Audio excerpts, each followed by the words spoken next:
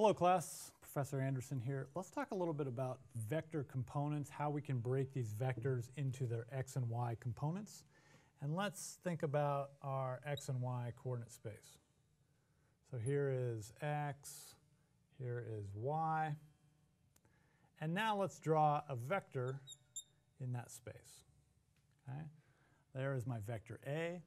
That is going up to a particular point here labeled by x and y. Okay? And we know exactly what x and y are. x is how far did I go across in x? y is how far up did I go in y? And so this side is a sub x, and this side is a sub y. Okay? And both of those are in fact vectors because if I add ax and ay, I get my resultant vector a.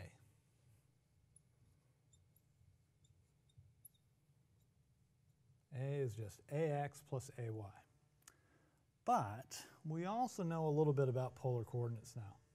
So if that is angle theta, and the hypotenuse is uh, the magnitude of the vector A, which is just A in this case without the arrow, what can we say about these components? A sub x is the magnitude of A sub x. How long is this?